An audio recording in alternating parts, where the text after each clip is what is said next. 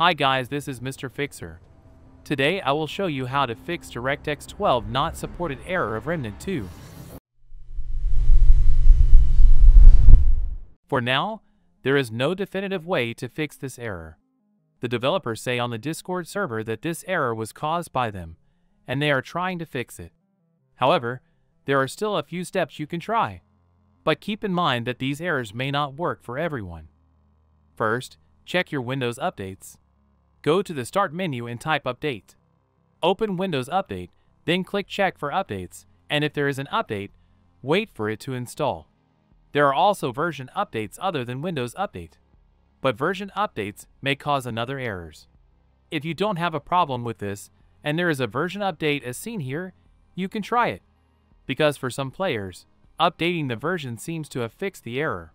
But if you don't want to upgrade, then try other possible solutions. Update GPU driver.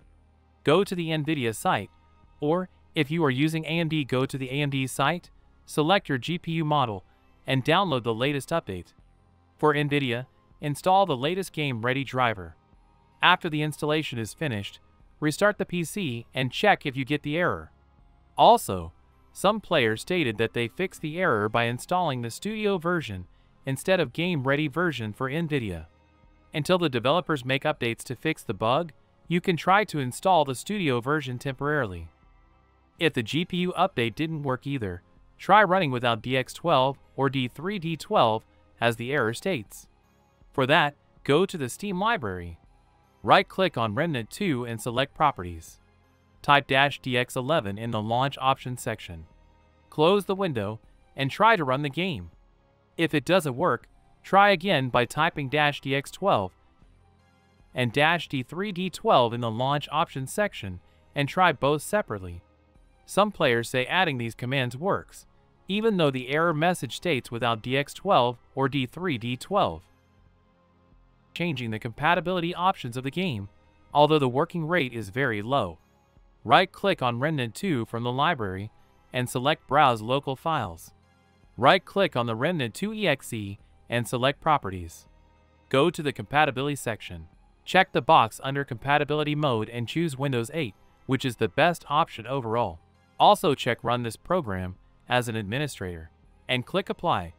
If Windows 8 didn't work, you can also try Windows 7 and other options. These are the steps you can try for now, as there is no definitive solution to the error. If these methods did not work for you, unfortunately, there is not much you can do other than follow the developer notes and wait for an update to fix the error. If I find new solutions that are different and work, I will share updates as a pinned comment. That's all. Don't forget to like if this video helped you. If the issue is still not be fixed or have another question, let me know in the comments section below. Also, you can support me by subscribing to the Mr. Fixer. Don't forget to all errors must be fixed. See you in the next video.